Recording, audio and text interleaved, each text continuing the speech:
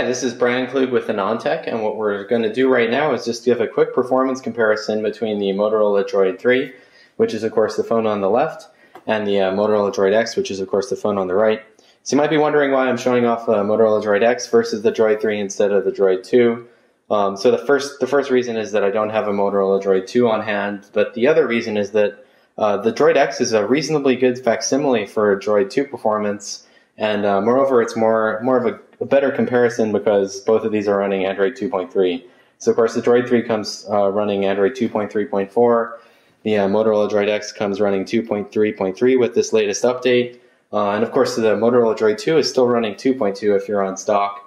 And that and the, the, the Motorola Droid X has a similar SoC to the uh, the Motorola Droid 2. Of course, the Droid X has a uh, 1 gigahertz OMAP 3630.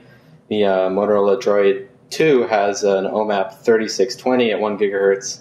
Um, and, and of course, the Motorola Droid uh, 3 has an OMAP uh, 4430 at 1 gigahertz. So, of course, this is a dual core phone. So, before we show anything else, I think that's kind of interesting to look at. If you go into System Panel, which I'm a big fan of, um, they recently added support for showing the second core. So, you can see here uh, at the top, we have CPU activity on the first core and the second core. So, of course, the second core is actually off. There's um, one frequency plane between the two, but of course, on OMAP 4, you can turn the second core off uh, in circumstances where there isn't a lot of load. So, I mean, if we generate lots of load just by scrolling up and down, you can see obviously, yeah, we, we just turned the second one on and we pegged it. So, of course, the UI is still, you know, very CPU bound task. Um, even in Android 2.3, even though there's lots of GPU acceleration now, so obviously the, uh, the render thread is on that second core. You can also see it dynamically clock up to one gigahertz. Um, and again, I think it's it's a reasonable comparison, you know, to compare the Droid 3 to the X because both the X, the Droid 2, the Droid 3, and the X2 are all running with 512 megabytes of LPDDR2. Uh, so this is pretty fair in my estimation. So let's go fire up the browser and then just go to the AnandTech page. Okay, so I've got the, uh, the URL for the AnandTech homepage punched in, and um, of course we're connected to the same 802.11n access point. So both of these only have 2.4 gigahertz single space single spatial stream uh, WLAN support, and we've cleared the cache, of course, on both of these. So this is going to be a totally fair comparison. I don't know what's going to happen, but hopefully the dual core helps things. So we're going to load them up. We're loading right over the web right now, so we'll see what happens. Hmm, so the X actually is going pretty fast there.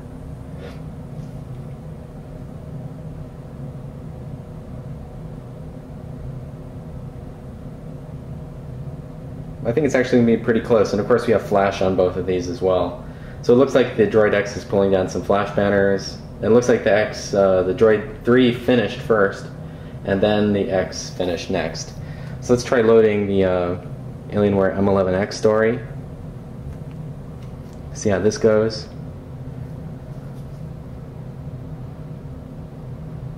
It's pretty close there. Still loading things. Droid 3 finishes first. X is still loading. There it's finished. So, I mean, obviously the Droid 3 is faster. I mean, obviously having a second uh, core helps. Of course, this is a dual core Cortex A9, single core Cortex A8. Um, same amount of RAM again. Let's try loading the print print page view. So you can look at scrolling here. It's still a little bit choppy. You know, it's still not as smooth as it could be. I'd say it's pretty pretty equal between them. Uh, you do have to keep in mind, of course, that the uh, Droid, where the comparison falls apart, is that the Droid X and of course, the Droid 2 are um, FWVGA de devices, um, whereas the, uh, the Motorola Droid 3 is QHD. So you do have a, a difference in like 1.3 times as many pixels that need to be drawn. And for that reason, it's not totally a vanilla comparison. But I mean, even then, if you look at just scrolling here, it's still pretty choppy.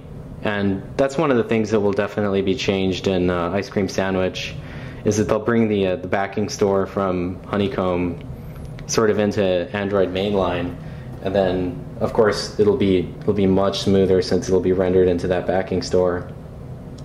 Let's try. I didn't get to tap on those at the same time, but I want to see just for fun how how much of a difference it is when we have a full page. So of course you can see Flash kind of glitching out there where we're we're composing the page, and of course, Flash is sort of overlaid. So when you have a window like this, the Flash still persists. Let's try another another test. Let's go back to the home page. So even even there, it looked like the Droid X had a lead, but the uh, Droid 3 finished first. Let's try loading the uh, power supply story. So wow, that was um, unexpected. That was pretty fast. Pretty dramatic difference there. And the X is still loading. No, it's done. Let's try just one more thing.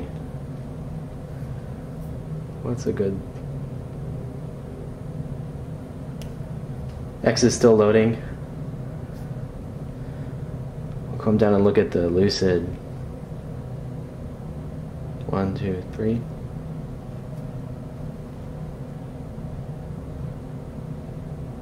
Yeah, so even there, the uh, Droid 3 finishes first.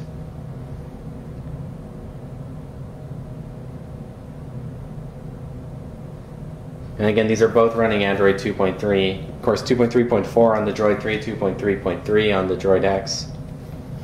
So I think that's a pretty good look at how things compare. If we look at the Android UI as a whole, it's a little bit more challenging to compare because the uh, the Droid X doesn't have the new Moto Blur or the Moto Blur that really isn't Moto Blur, but it still is Moto Blur. I mean, you, and you can see if we go and just scroll back and forth, it's not cooperating with me. Come on.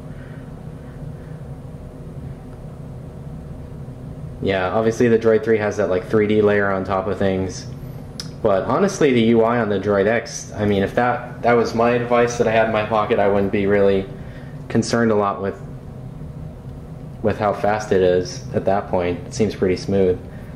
If you look at scrolling here, this is where, again, we can't really make a comparison because it goes this way now. But I guess you can sort of see I don't know, honestly, it's pretty smooth on both of them. So this main Android UI, I guess, isn't really the concern.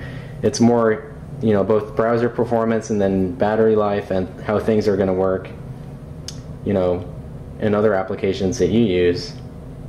So I want to run, to run one last test here where we open up the, uh, the gigantic uh, OS X Lion review in the print mode. So let's go and do that. Let's see if I can tap on print this article at the same time. So I mean, you can see right there that the Droid 3 definitely loaded that initial render faster. Now it's pretty neck and neck. The Droid 3 is definitely loading more though, and it's done. And here comes the X. Hopefully, still going there, it's done. So I, I think that's a pretty good look at just general overview of performance, especially in the browser, which is what I I am generally concerned with, you know, first and foremost. And of course, scrolling still isn't very different, but you still have to keep in, in mind the fact that we have a larger resolution. So obviously, there is a, you know, it's not an apple, apples to apples comparison in that regard. So thanks again, and definitely read the full review.